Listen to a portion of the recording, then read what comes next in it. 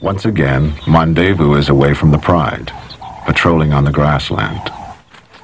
The new clan matriarch is in attendance, following his every move.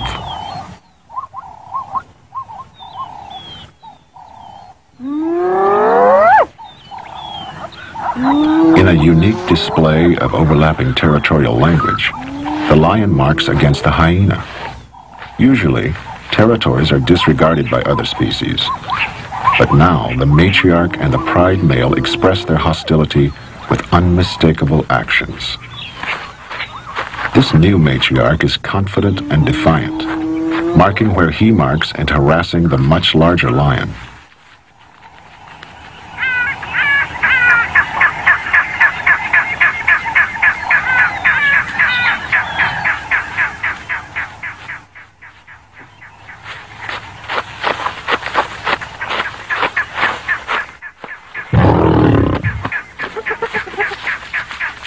Her calls and her fluffed up tail posture attract support from other clan members and don't go unnoticed by the lionesses on the edge of the open area.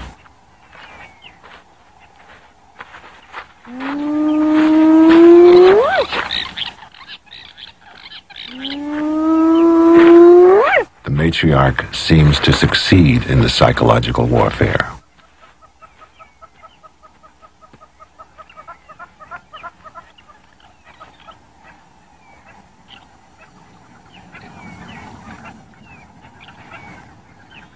This is not a competition for food. When Matsumi leads the pride out to meet the hyenas, it is to do battle once again with their eternal enemies.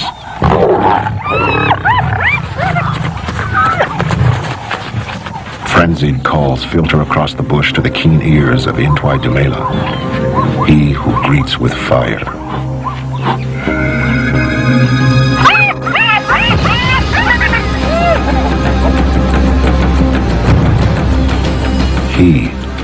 The hyena killer.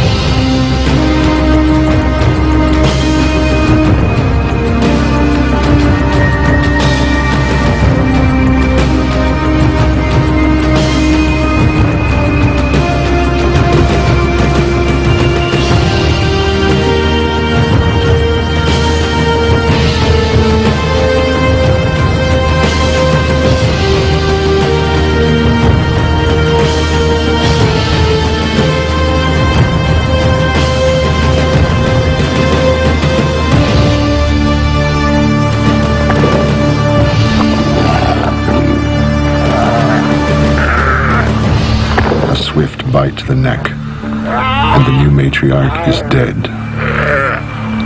The day belongs to the lions.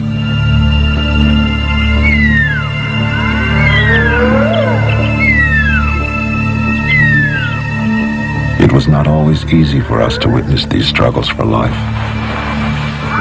But at the end of it all, perhaps, we came to know more about ourselves and the struggles that rage within our own savage souls.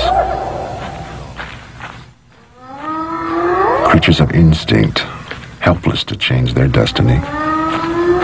Forever the